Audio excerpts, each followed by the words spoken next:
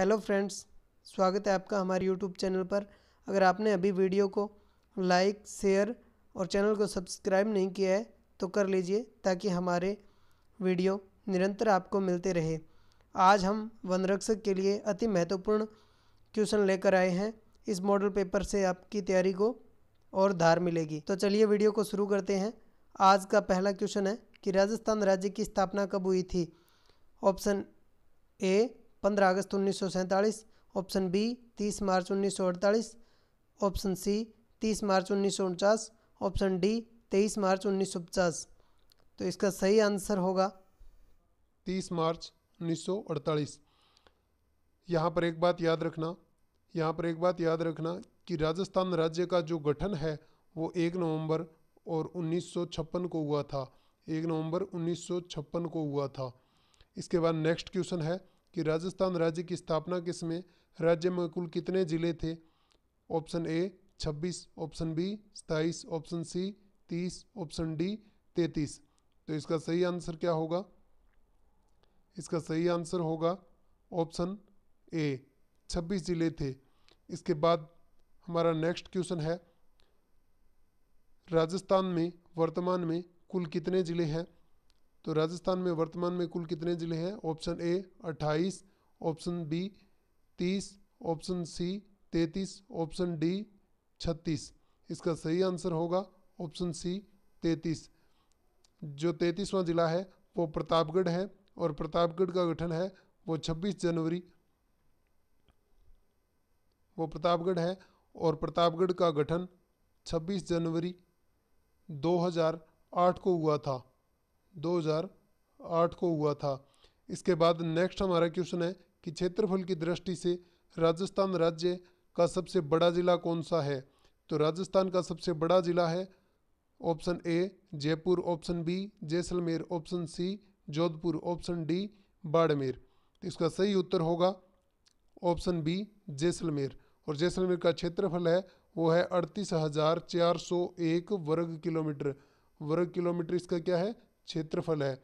इसके बाद हमारा नेक्स्ट क्वेश्चन है, राजस्थान में कुल कितने संभाग है?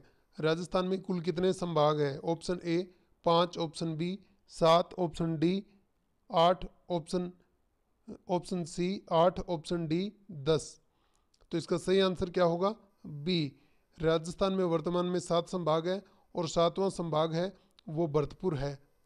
सातवां संभाग है, वो भरतपुर है। इसकी स्थापना 2008 में की गई थी। इसका गठन है, वो 2008 में किया गया था। इसके बाद हमारा नेक्स्ट क्वेश्चन है कि क्षेत्रफल की दृष्टि से राजस्थान का सबसे छोटा जिला कौन सा है? Option A Jaisalmer, option B Sirohi, option C Dholpur, option D Jodhpur. तो इसका सही आंसर होगा ऑप्शन सी और धौलपुर है, इसका क्षेत्रफल है वह है तीन हज़ार चौंतीस वर्ग किलोमीटर। इसके बाद हमारा नेक्स्ट क्वेश्चन है कि राजस्थान राज्य का सर्वाधिक जनसंख्या घनत्व वाला जिला कौन सा है? राजस्थान राज्य का सर्वाधिक जनसंख्या घनत्व वाला जिला कौन सा है? Option A Jaisalmer. Option B Jaipur. Option C Dholpur. Option D Sirohi. तो इसका सही उत्तर होगा ऑप्शन बी जयपुर। और जयपुर का जो जनसंख्या घनत्व है, वो है पाँच सौ पचानवे। व्यक्ति प्रति वर्ग किलोमीटर। इसके बाद हमारा जो नेक्स्ट क्वेश्चन है, राजस्थान राज्य का निम्नतम जन, निम्नतम जनसंख्या घनत्व वाला जिला कौन सा है? Option A Sirohi. Option B Barmer. Option C Jodhpur. Option D Jaisalmer. तो इसका सही उत्तर होगा जैसलमेर। और जैसलमेर का जनसंख्या घनत्व है सत्रह व्यक्ति प्रति वर्ग किलोमीटर। इसके बाद हमारा नेक्स्ट क्वेश्चन है, राजस्थान का राजकीय पक्षी क्या है? तो राजस्थान का राजकीय पक्षी क्या है?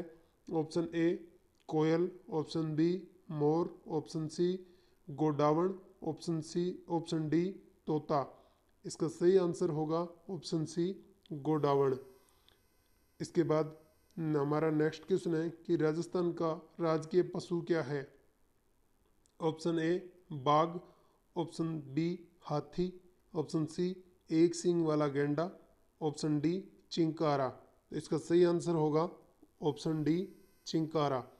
इसके बाद हमारा नेक्स्ट क्वेश्चन है कि राजस्थान का राजकीय पुष्प क्या है? ऑप्शन ए कमल, ऑप्शन बी रोहिड़ा, ऑप्शन सी गुलाब, ऑप्शन डी पलास इसका सही आंसर होगा ऑप्शन बी रोहिड़ा। और रोहिड़े का जो वानस्पतिक नाम है, वो है टेकोमेला अंडुलेटा। इसके बाद हमारा नेक्स्ट क्वेश्चन है, राजस्थान का राजकीय वृक्ष क्या है?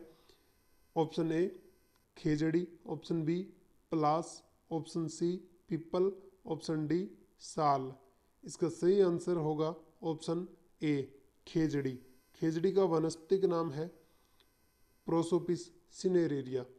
इसके बाद नेक्स्ट हमारा क्वेश्चन है कि राजस्थान राज्य की साक्षरता दर कितनी है? ऑप्शन ए, चौंसठ पॉइंट ग्यारह प्रतिशत। ऑप्शन बी, पैंसठ पॉइंट ग्यारह प्रतिशत। ऑप्शन सी, छियासठ पॉइंट ग्यारह प्रतिशत। ऑप्शन डी, सड़सठ पॉइंट ग्यारह प्रतिशत। इसका सही आंसर होगा ऑप्शन सी, छियासठ पॉइंट ग्यारह प्रतिशत। इसके बाद हमारा नेक्स्ट क्वेश्चन है कि राजस्थान राज्य की पुरुष साक्षरता दर कितनी है? ऑप्शन ए, पिचहत्तर पॉइंट बारह प्रतिशत। ऑप्शन बी, अठहत्तर पॉइंट उन्नीस प्रतिशत, ऑप्शन सी, उन्यासी पॉइंट उन्नीस प्रतिशत, ऑप्शन डी, बयासी पॉइंट उन्नीस प्रतिशत। इसका सही आंसर होगा ऑप्शन सी, उन्यासी पॉइंट उन्नीस प्रतिशत। इसके बाद हमारा नेक्स्ट क्वेश्चन है, राजस्थान की महिला साक्षरता दर कितनी है? ऑप्शन ए, बावन पॉइंट बारह प्रतिशत, ऑप्शन बी, तिरपन पॉइंट चार प्रतिशत ऑप्शन सी चौपन पॉइंट बारह प्रतिशत, ऑप्शन डी पिचपन पॉइंट चार प्रतिशत। इसका सही आंसर होगा ऑप्शन ए बावन पॉइंट बारह प्रतिशत। इसके बाद हमारा नेक्स्ट क्वेश्चन है कि राजस्थान राज्य का सर्वाधिक साक्षरता वाला जिला कौन सा है?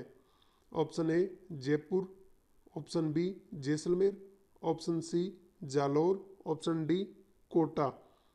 तो इसका सही आंसर होगा ऑप्शन डी कोटा। इसके बाद हमारा नेक्स्ट क्वेश्चन है कि राजस्थान राज्य सबसे कम राजस्थान राज्य का सबसे कम साक्षरता वाला जिला कौन सा है? तो राजस्थान राज्य का सबसे कम साक्षरता वाला जिला option A Kota option B Jalore option C Dholpur option D Barmer. इसका सही आंसर होगा ऑप्शन बी जालोर। इसके बाद हमारा नेक्स्ट क्वेश्चन है, राजस्थान राज्य का लिंगानुपात कितना है? ऑप्शन ए नौ सौ अट्ठाईस, ऑप्शन बी नौ सौ पैंतालीस, ऑप्शन सी नौ सौ उनहत्तर, ऑप्शन डी नौ सौ चौरानवे। इसका सही आंसर होगा ऑप्शन ए नौ सौ अट्ठाईस। इसके बाद हमारा नेक्स्ट क्वेश्चन है, राजस्थान राज्य का सर्वाधिक लिंगानुपात वाला जिला कौन सा है? 2001 की जनगणना के अनुसार option A Rajsamand, option B Pratapgarh option C Dungarpur, option D Dholpur. इसका सही आंसर होगा ऑप्शन ए राजसमंद। इसका सही आंसर होगा ऑप्शन ए राजसमंद। इसके बाद हमारा नेक्स्ट क्वेश्चन है कि राजस्थान राज्य का न्यूनतम लिंगानुपात वाला जिला कौन सा है? Option A Dungarpur, option B Jaisalmer, option C Dholpur, option D Jodhpur. तो न्यूनतम लिंगानुपात वाला जिला राजस्थान का होगा ऑप्शन सी इसका सही उत्तर होगा ऑप्शन सी धौलपुर। धन्यवाद दोस्तों, मिलते हैं नेक्स्ट वीडियो के साथ।